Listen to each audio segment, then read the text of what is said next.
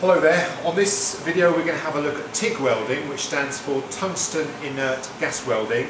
Uh, it's very similar to MIG welding in that we're using uh, an inert gas. Uh, the plant over here you can see, and this is our gas cylinder here, and in this case we've got argon, which is an inert gas that we use predominantly with uh, aluminium. Uh, it's most closely related however to gas welding because what we're going to be doing is we're going to be using a separate filler rod just like we do with the uh, oxyacetylene uh, which is the same material as the material we're going to be welding uh, and um, creating a molten pool and dipping our filler rod into that. So if we have a look at the plant, so as I say this is tungsten inert gas welding so we have our, our gun here which has our tungsten tip uh, which is a non-consumable tip. In other words, it will, uh, it will not wear away although you do have to replace it every once in a while. Uh, that will create an arc between uh, the tip and the, the molten pool. Um, you've also got your, uh, your sleeve here with your inert gas that comes out and just like in MIG welding that's shrouding the weld uh, and stop it getting contaminated uh, with the atmosphere. So that's our, our gun. The way that it's controlled, uh, you can either control it with a button on here like you did with the MIG welding or you can use, which is a much better way, there's a, a foot pedal underneath uh, which you can use just like a, a bit like a sewing machine pedal really, so that the further you push it down, the higher the power or the ampage output. Uh, so TIG welding is ideal for welding aluminium, uh, it's ideal for, for doing stainless uh, and mild steel as well.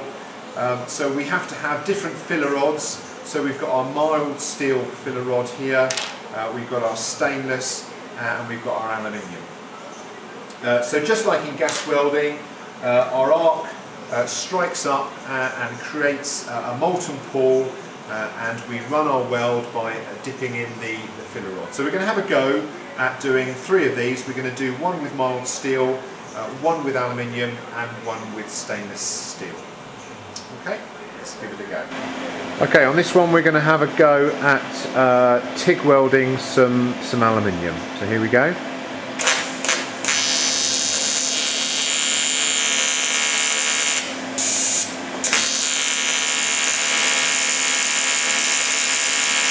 Okay, so we've got a separate filler rod, which is the same material as the aluminium sheet that uh, is being welded.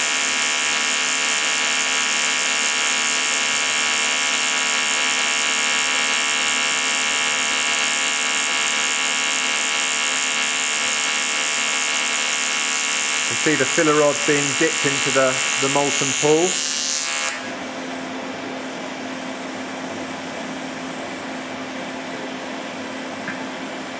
And that's TIG welding aluminium. Okay, now we're going to have a go at uh, TIG welding mild steel. Uh, and you should notice that it's absolutely quiet, whereas the aluminium one was uh, quite noisy.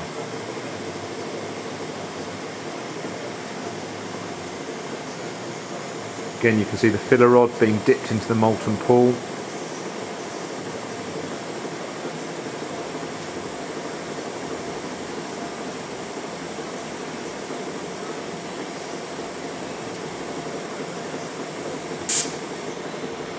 Okay, so that's TIG welding mild steel. Okay, now we're going to have a go at TIG welding stainless steel. So the filler rod's been changed to, uh, to, to a stainless filler rod.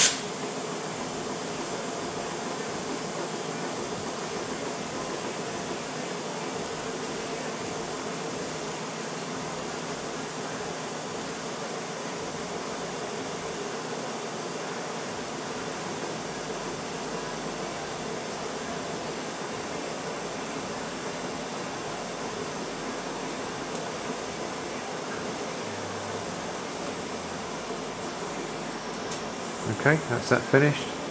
So that's TIG welding, tungsten inert gas welding.